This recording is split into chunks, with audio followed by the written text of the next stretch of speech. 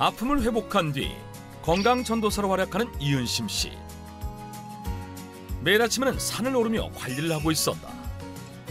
나무에서 나오는 기가 그렇게 좋대요, 사람한테. 그래서 기도 받고, 꼭 이렇게 또 기를 받고 있으면 또 제가 마음이 되게 편해지고, 항상 나올 때마다 이렇게 하고 있어요. 그런데 하산 후 평지에 내려와 갑자기 지그재그로 산책로를 걷기 시작한다. 작은 보폭으로 좌우 방향을 바꿔가며 걷는데 어머니 왜 갑자기 이렇게 왔다 갔다 걸으시는 거예요? 제가 갈지자로 걷는 운동을 하고 있는 거예요. 이 운동을 하다 보면은 혈압 조절에도 좋고, 혈관 건강에도 좋고, 나름 유연성에도 좋고, 그래서 제가 하는 저만의 비법이에요. 갈지자 걷기가 건강 비결이다? 지금 이은심 씨가 걷는 방법이 바로 갈지자법인데요. 이렇게 방향을 틀면서 갈지자로 걸으니까 방향 전환을 하면서 코어 근육이나 평소에 쓰지 않는 근육을 쓰기 때문에 혈액순환에도 도움을 줄 수 있습니다.